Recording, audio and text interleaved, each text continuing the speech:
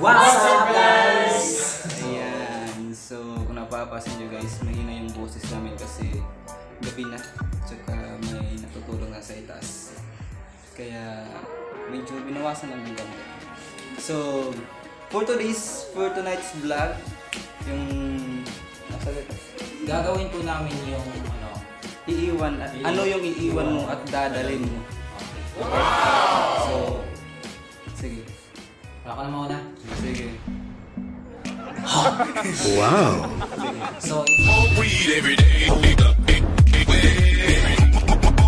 Adalin ko, ah, ah, iiwan ko muna yung ano, sarili ko sa dito sa church. Then, iiwan ko na yung mga nakaraan na nagawa ko noon. Ah, haharap naman ako ng bagong bagong bagong ako. Ayan. Haharap ako sa bagong mundo na bagong ako. Ayan. So, What? Ibigay ko naman kang Kuya Danilo. Weed every day. Once again, good evening. Uh, ah, para sa akin, ang babaunin ko ay yung mga positive positive uh, strategy na na-learn ko dito sa encounter. Like yung um, trust, um, tiwala sa sarili at also yung honor your father and mother Ah, kasi sila yung importante sa lahat and most of that the only one our Lord Jesus Christ. So at ang iiwan ko yung mga mga past na na encounter ko rin sa buhay ko like yung mga negative effects sa akin na naranasan ko yun na ang dapat kalimutan ko na harapin ang bagong ham ng buhay Ayan. Kasama si Cristo. Yes. Ayan. So, Para naman sa akin is ah, ang iiwanan ko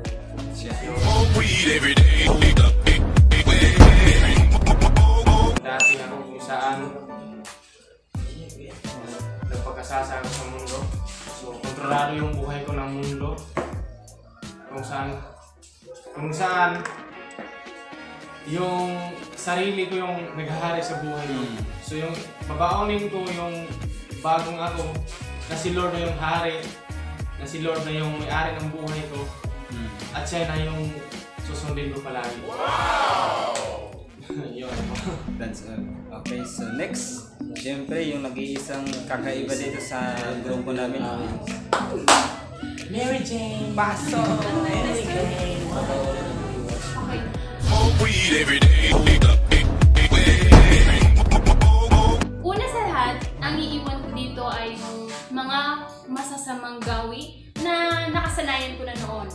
At saka yung ba, ah, babaunin ko naman or ang dadalhin ko ay yung mga bagay na alam ko kung ano yung tama. At yung mga bagay na alam kong pinaghirapan ni God para lang ah, masave ako sa Calvary na dapat ako yung pinako sa cross na yun. Sana ako, ah, sana nga, or dapat ako yung nandun sa, sa cross, ako dapat yung um, nilatigo, ako dapat yung kinoronahan ng tinik, at ako dapat yung um, nag, nag-suffer kung ano man ang kalagayan niya noon.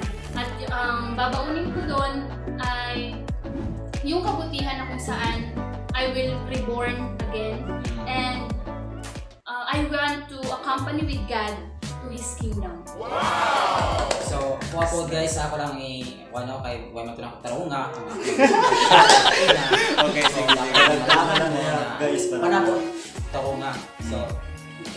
So, ah, yung babawin ko ngayong 2020, ah, ngayong darating na 2021 na ngayon mag-step out na ako sa da- nakaraan ko. Yung nakaraan na Start pa na worldly Mm. yung gawa ko, nagawa ko noon na hindi maganda. Ngayon, ah, gagawa ulit ako at kasama na yung Panginoon sa wow! Papakita ko sa mundo yung love ni Lord para sa atin, para sa mundo. Uh, Alright, so tapos na sila. So, out na. So, sa akin guys, yung